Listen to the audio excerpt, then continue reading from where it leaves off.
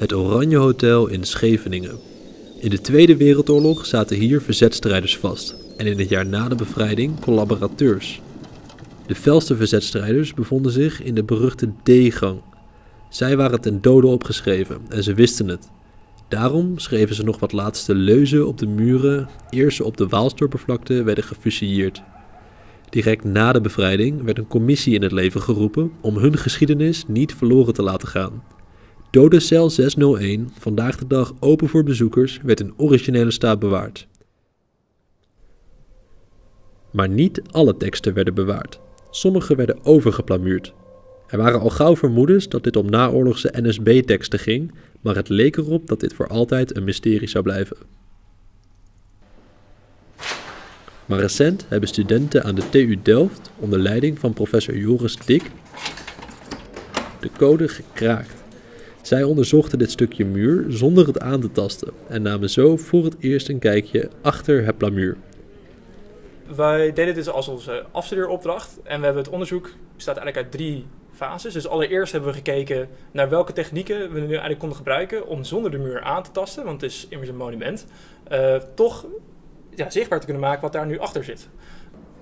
En uh, daar kwamen we op de twee technieken uit, namelijk strijklicht, waarbij je de, de op, oppervlakte gaat belichten en dan kijkt of er een putje of een heuveltje zit.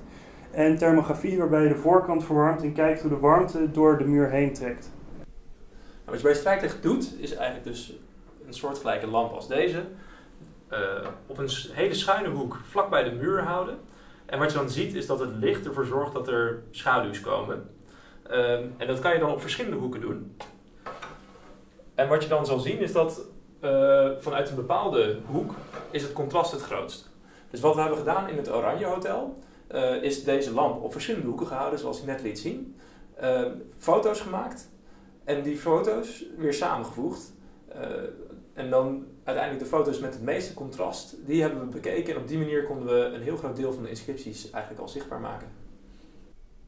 Dit is een van de opnames die we hebben gemaakt met de thermografiecamera. Nou, wat je ziet is dat het beeld eigenlijk continu aan het verspringen is qua licht. Nou, dat komt omdat de lamp die we hebben gebruikt om de muur te verwarmen, uh, die waren we continu aan, aan het bewegen zo. Nou, en dat deden we omdat uh, onder verschillende hoeken het contrast verschillend is. Nou, door die lamp dus telkens te verdraaien, konden we de beelden waarop het contrast het grootste is, samenvoegen, om zo tot een beeld te komen waarop de inscripties uiteindelijk het best zichtbaar zijn.